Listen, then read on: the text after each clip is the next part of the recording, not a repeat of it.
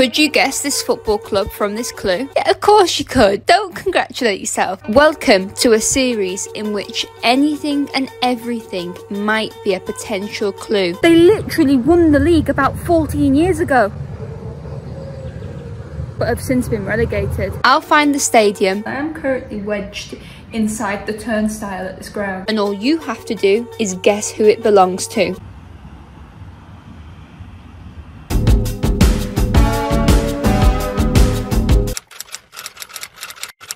What's crazy is I'm currently staring at the entrance sign to the stadium, but you guys don't have a clue.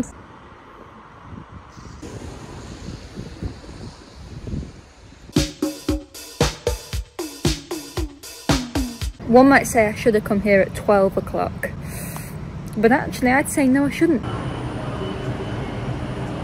I spoke to someone. Oh, that's a bit of an echo, isn't it? I spoke, that's not a clue. I just spoke to somebody who works here, looks like the groundsman, and just explained who I am and what I'm doing. Because I do put myself in some peculiar positions. For example, I'm currently wedged inside a turnstile. Here's a clue. A current Premier League goalkeeper played here within the last 10 years. The first ever penalty kick was taken against this football club back in 1891. I mean, I could have just made that up. It's not like you were there.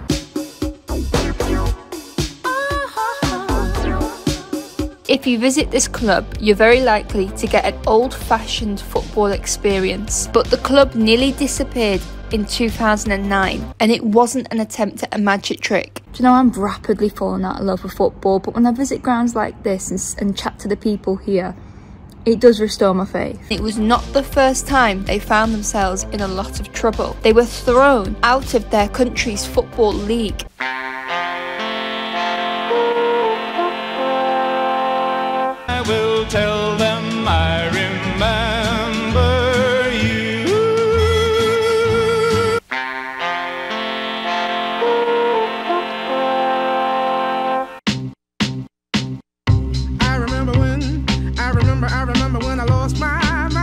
I think those two songs suggest that they spent an awful lot of time outside of the Football League.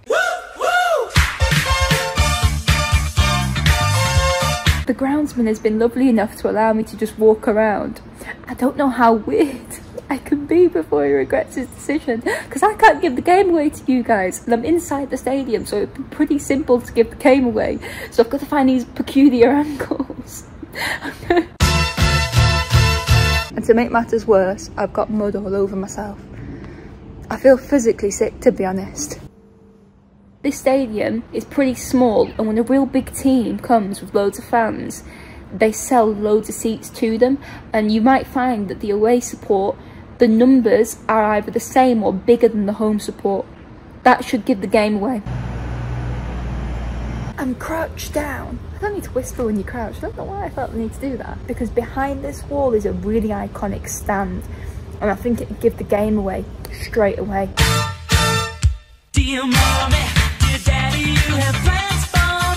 Attention all football geeks. This is a football shirt from Zimbabwe, sent by Sangalo. Sangalo sell official jerseys from around the world. No, no places like Spain, Vietnam, Singapore, Uganda. At first glance, train goers probably assumed I was just a casual girl wearing a fleece, but they didn't realise I had a Zimbabwe Premier Soccer League football shirt on underneath. Hang on, is she a zebra? This is Highlanders FC, the oldest club in Zimbabwe. Sangalo believe these local leagues deserve recognition. Link in the description to check out the Sangalo website. It's a really cool page. About 30 yards behind me is the football stadium.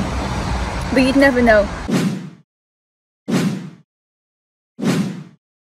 Accrington Stanley, well done if you got it right. I think this is quite a, not easy one, but I think if you're a football fan of a lower league club, you probably got this one fairly early on. This is the iconic stand that I was referring to. It has no roof, so you've got to withstand the elements, and the elements, they come here thick and fast. It's already starting to rain, so I will be making a quick escape. I do just want to say a quick thank you to all the staff here, including the groundsman, who basically just allowed me to have a little walk around to get you guys the shots. At times, I put myself in some situations where if you don't know who I am, if you know who I am, it looks a bit weird, but if you don't know who I am, it really does look strange. So I very much so appreciate that. Let me know if you want me to make this a proper series. See you later, guys.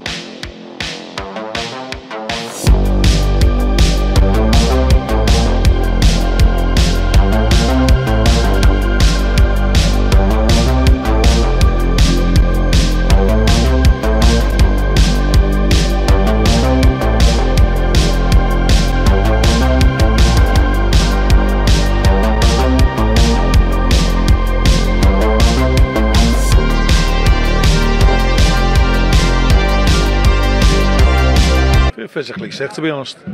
I'm, I'm rapidly falling out of love with football.